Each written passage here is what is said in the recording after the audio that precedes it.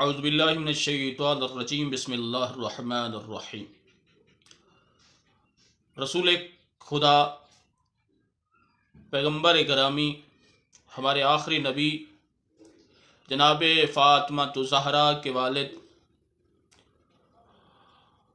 फरमाते हैं कि जो बंदा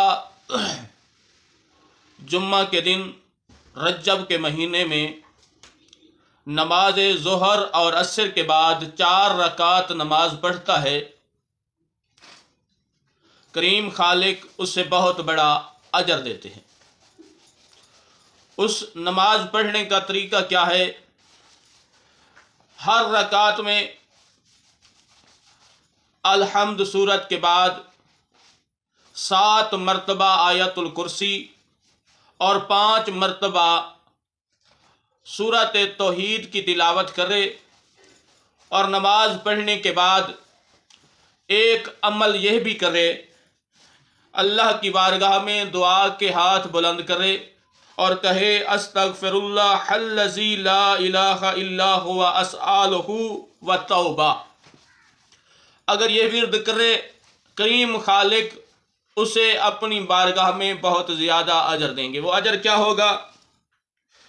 जब वो इस दिन ये नमाज़ पढ़ लेगा, नमाज़ पढ़ने के दिन से लेकर मौत तक हर रोज़ उसके लिए एक हज़ार नेकियाँ लिखी जाएँगी।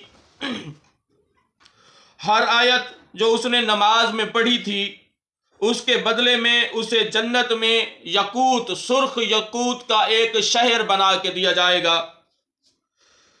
और हर हर्फ के अवज में सफ़ेद मोतियों का भी एक महल होगा, जो बंदा रजब के माह में जुम्मा और असर की नमाज़ के बाद चार रकात नमाज़ पढ़ता है। यकूत के मोतियों का महल और सफ़ेद मोतियों का महल उसके लिए जन्नत में तैयार किया जाएगा। और उसके लिए हुरईन, हुरे इस्तकबाल के लिए खड़ी होंगी। इस अमल से खुदावंद ताला राज़ी होंगे। उसका नाम इबादत गुजारों में लिखा जाएगा। और करीम खालिक उसके बख्शिश के सबब तैयार करेगा। यह है अमल। रज्जब का माह एक बाबरकत माह है।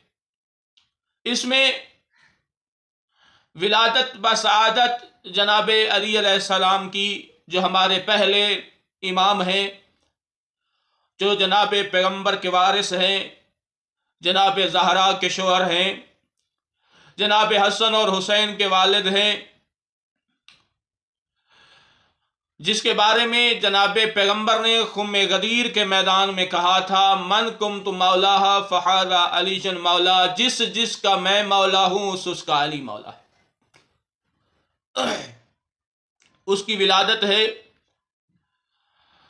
इस माह में उसकी विलादत है जिसकी विलादत किसी आम जगह पर नहीं हुई, खाना काबा के अंदर।